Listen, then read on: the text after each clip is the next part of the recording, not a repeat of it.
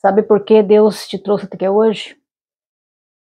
Sabe por que Deus hoje marcou essa data para falar com você, esse dia? Porque algo está próximo a acontecer. Porque algo já está a caminho. Sinto a presença de Deus, sinto o poder de Deus nesse lugar.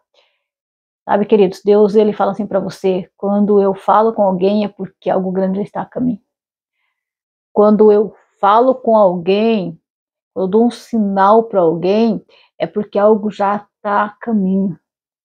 Por mais que pareça que o cenário está do mesmo jeito, por mais que muitos não chegou até você, por mais que muitas vezes pensou até que estava tão distante, Deus fala para você não está distante, não está longe, você vai ver as minhas mãos agindo por você. Hoje, Deus mandava dizer essa palavra para alguém. Já tem hora, já tem horário, já tem data, já tem dia marcado e ninguém vai te dizer não.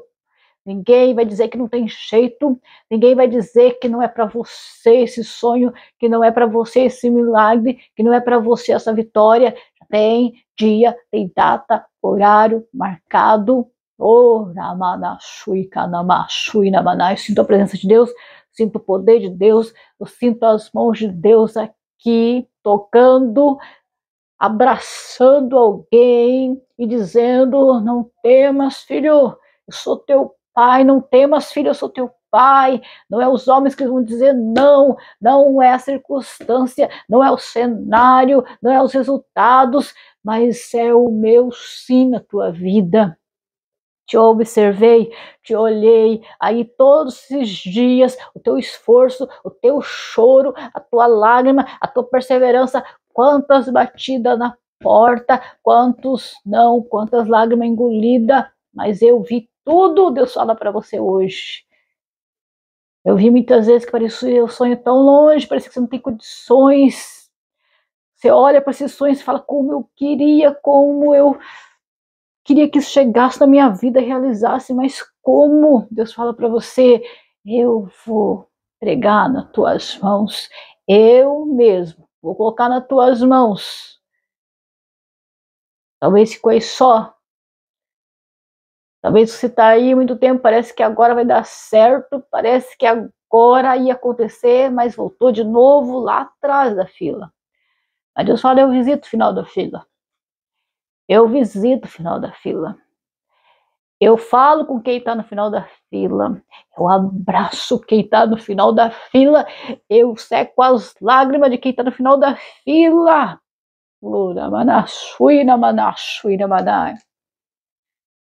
Muitos não vão lá no final da fila. Muitos não vê o final da fila. Muitos não enxergam, escutam o final da fila. Deus fala: eu escuto, eu vejo e eu vou, e eu levanto, eu restauro, eu curo, eu liberto, eu faço nova vida. Quanto tempo isso tem te segurado aí? Você não consegue viver mais sonhos? Quanto tempo? Esse mesmo cenário, quanto tempo? Essa mesma situação, mas Deus fala para você: não é para sempre, não. Eu não, fiz meu filho para ficar para sempre na mesma situação. Mas eu fiz os meus filhos para viver sonhos grandes, projetos grandes. Eles estão ouvindo um som, não é que é uma construção do lado da minha casa.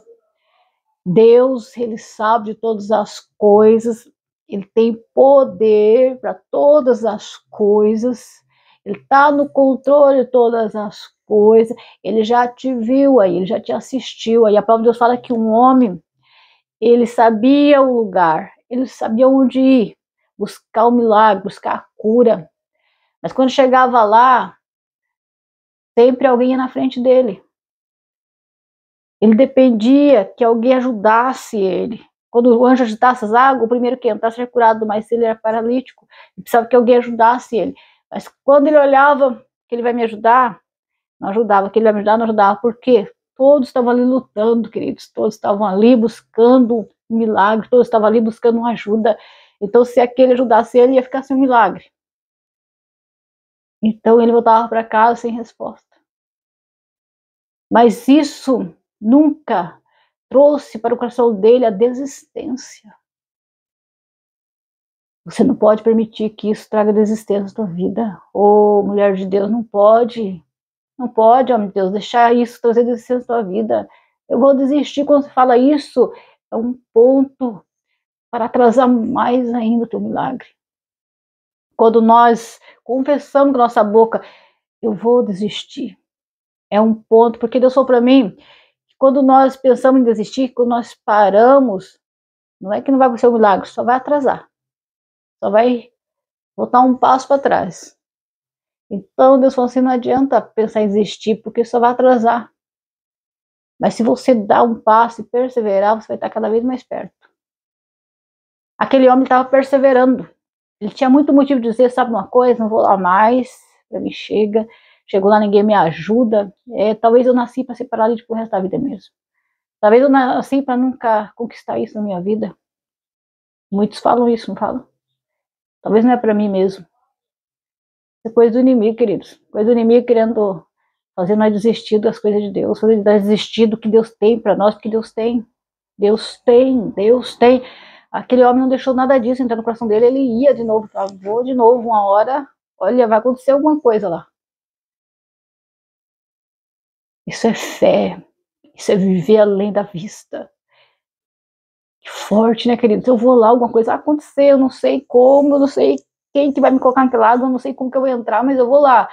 Aí Deus no céu falou, vou agendar, eu vou marcar data e horário, meu filho vai descer lá na terra e vai se encontrar com aquele homem e vai entregar nas mãos dele o que homem não pode entregar, não pode ajudar.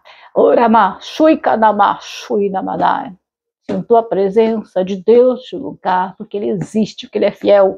Ele é fiel, ele existe. Quando Deus fala que Jesus chegou ali, olhou para aquele rostinho triste, observando aquela água. Será que anjo vai me colocar? Será que alguém vai me colocar lá? Será que alguém vai me ajudar hoje? Eu estou aqui, eu estou aqui, eu estou aqui. Queridos, muitas vezes nós estamos gritando, estou aqui, mas que nada, ninguém vê, ninguém ouve. Estou aqui. Aí Jesus chegou diante dele e falou: Você quer ficação? O filho, você quer ficação? E ele falou: não tenho ninguém que me ajuda. Porque nós estamos apegados ao socorro da terra, aos homens, nós estamos apegados. E Deus está lá falando: olha para mim, olha para mim, olha para mim, estou aqui. Aí ele falou para Jesus: não tem ninguém para me ajudar. Jesus falou: então, pega o teu leito, pega a tua cama, levanta e vai para tua casa. Sabe o que Jesus quer dizer? Ninguém te ajudou, mas eu te ajudo. Ninguém pode fazer, mas eu faço. Chegou a tua hora e ele se levantou, pegou o leito, foi para casa, lugar da humilhação nunca mais. O lugar da solidão nunca mais, o lugar de ficar só nunca mais, o lugar de ninguém ver nunca mais. Acabou ali. Deus fala para você, você vai se despedir desse lugar.